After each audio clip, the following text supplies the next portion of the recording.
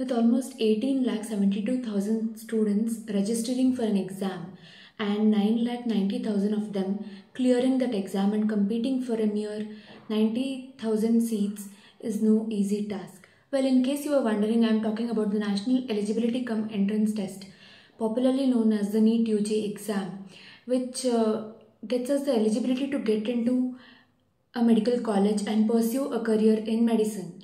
So, after the results of the exams are announced, there are various categories of student every year. So, first category uh, of students are uh, those who are very much satisfied by their results and uh, those who are sure of getting the desired college or uh, any decent enough college and they are waiting for the counseling process. The second category of students are those um, who have other um, career options in mind. They have other alternatives and uh, they would have just written the exam um, to give it a try. The third category of students are those who might have missed the seat, MBBS seat by just a few marks or uh, who might uh, not have fully prepared for the exam and who really want to give it another shot, a fully dedicated one. So for the third category of students, there are various factors that you need to keep in mind before making the decision of uh, if you want to give it another shot or not. Trust me, the dilemma is real. I know it because I've been there as well. So with the hope of clearing this dilemma to an extent, today I'm gonna share some tips that you need to consider before taking this decision of repeating another year. So the first thing is sit down and analyze your prep. What went wrong? Was it due to anxiety? Was it due to time management issues? Was it due to your uh, silly mistakes? Or uh, was it due to weak concepts? Once you figure out where was the mistake, where was the shortcoming, and um, you know that you could have done better, then definitely go ahead and give it a try, provided you are ready to work on your limitations. Get over the log kya kahenge concept because ultimately what matters is um, how you feel about your decision once you've decided that you want to give it another try you should not care about what others think what others have to say um, because uh, ultimately what depends is your satisfaction. This uh, concept of what will others say it's a very big setback in terms of uh, taking the decision of repeating or not. Because if you don't get a college uh, in a good enough college in a first attempt and if you take any college then uh, people will obviously say that uh, she didn't get a good college or he didn't get a good college and uh, if you take uh, a repeat year and then go to a college they'll say that oh she couldn't make it in first attempt. And uh, she had to take an extra year to prepare. So don't worry about that because people's memory is very short lived and i'm sure they're the first one to congratulate you once you get into good college.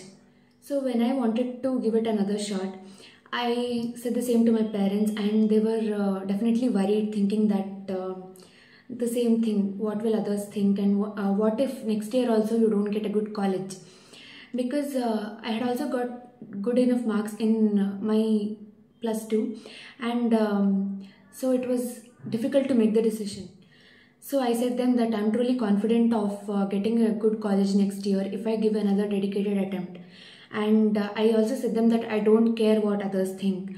I literally turn a deaf ear to them and what matters is your support i'm grateful that they provided me with all the support that i could have asked for in fact more than that i could have asked for and uh, i got a good enough college in my second attempt so don't hesitate to give another try thinking of other people's opinions because giving another try is better than having lifelong regret. Also, there's one thing that you need to think over there's no guarantee that you will get a seat or you will get a good college that you want or the branch that you want, like MBBS or BDS or whatever it is.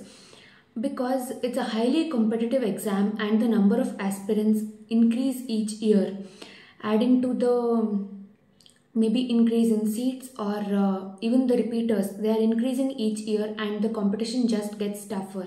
So what we can do is hope for the best and prepare for the worst. The next point is don't get into peer pressure. Um, just because your parents want you to pursue medicine or just because your friend is taking another repeat year you don't have to uh, follow the same path because it takes a lot of dedication discipline uh, to you know prepare uh, sit at home and prepare for an entire year while uh, others some of your classmates are pursuing professional courses So go for it only if you are really passionate, only if you are ready to give your 100%. The vice versa is true as well. Just because all of your friends are uh, pursuing a professional course in some other branches and uh, nobody is uh, taking a repeat year, that doesn't mean that you do have to follow pursuit. So you do what's best for you. And if you think that you'll be wasting an entire year, then just do listen to these words by Earl Nightingale. Never give up on a dream just because of the time it will take to accomplish it. The time will pass anyway. So, if it is your dream to become a doctor, to wear that white coat with a stet around your neck and pursue a career in medicine, then you can definitely afford to give another year of preparation for NEET UG because the future belongs to those who believe in the beauty of their dreams.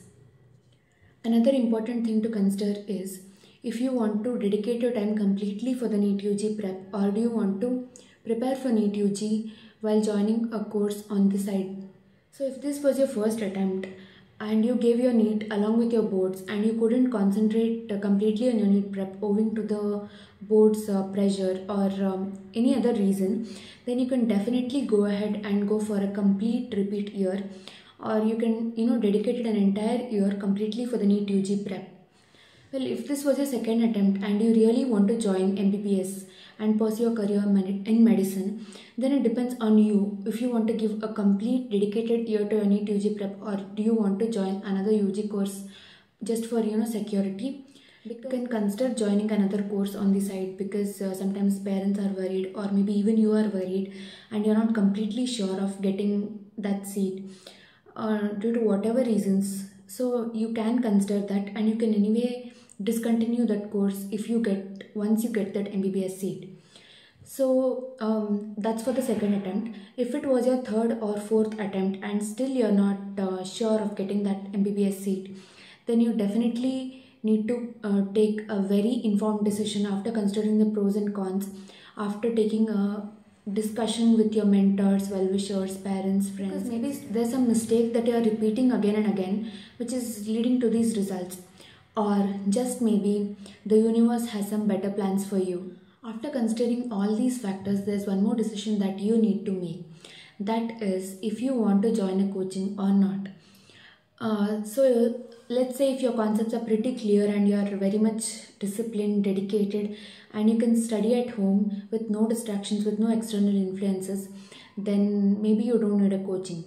You can just join in test series that will, um, you know, provide you a schedule or deadline to prepare the topics, and it can get you accustomed to the exam environment. If you feel that concept, your concepts are not clear somewhere, or um, that coaching can provide you an extra accountability you know being surrounded by people uh, who are like minded who are preparing for the same exam uh, seeing them work hard can make you, you work harder as well or um, it can provide you with a schedule and keep you disciplined then definitely go ahead and join a coaching and start your prep i clearly chose the latter because um, I felt that I had some concepts which need to be cleared, and clearly, I also needed some accountability and discipline. Well, it's a very common notion, and even I used to say that I've taken a drop to prepare for UG.